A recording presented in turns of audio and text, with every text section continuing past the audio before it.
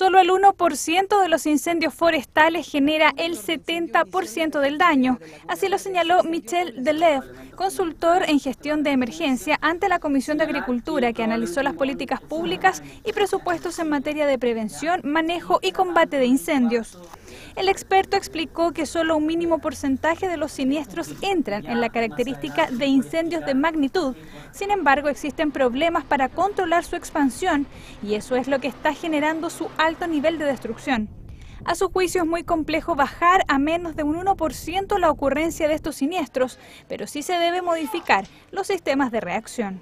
Lo que nos muestran las cifras es que la configuración de combate está bien para el 99% de los incendios. Por lo tanto, lo que hay que hacer es ampliar esta configuración para abordar la mayor cantidad de hectáreas que se están quemando y así poder disminuirla. Y eso implica en el corto plazo comprender la necesidad, como ya lo hemos señalado hace ya varios años, específicamente de Torres del Paine, la necesidad de incorporar aeronaves que complementen las existentes y que tengan capacidades superiores a los 4.000 litros. La presidenta de la comisión, Loreto Carvajal, valoró los antecedentes entregados por el experto, pues pretenden avanzar en generar cambios legislativos y políticos que permitan desarrollar un mejor manejo del combate de los incendios forestales que no solo están destruyendo hectáreas de bosque, sino también comunidades. Nosotros tenemos normativas que pronto no han sido actualizadas, tenemos unos recursos que no son los apropiados cuando se trata de un país con tantas emergencias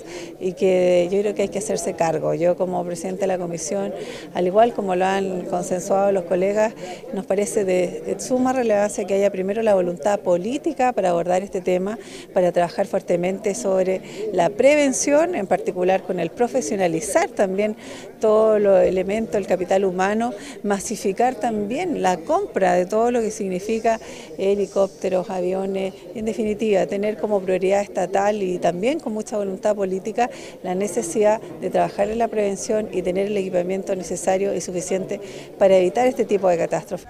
En la instancia también se analizaron los recursos que se están destinando al manejo de estas emergencias. Lamentó que la mayor cantidad de estos sean destinados a fines posteriores a la ocurrencia de los incendios y no a prevenirlos eficientemente. Nuestro funcionamiento sobre el daño esa es parte de nuestro atraso, no anticipa. Y por lo tanto, cuando uno ve, y fue el gráfico que hoy día mostré, es que por una parte ve un crecimiento en el presupuesto ONEMI, ve un crecimiento en el presupuesto de la CONAF, pero lo que más marca es el crecimiento de aquel presupuesto o aquellos recursos que se destinan cuando el daño ya ha ocurrido. Y la verdad es que el crecimiento es impresionante, que llega el año pasado a casi 80 mil millones de pesos, cuando ONEMI tiene un presupuesto cercano a los 14 mil millones de pesos.